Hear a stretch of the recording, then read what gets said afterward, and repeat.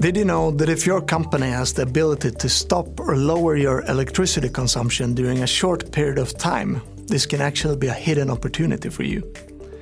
The energy system is facing new challenges with a transition towards more renewable production and more stochastic loads. The need for flexible capacity in the Nordics is growing. We see this as a business opportunity.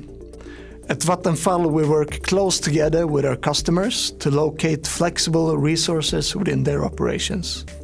We then help the customer to optimize and to sell this flexibility to the market that pays the best.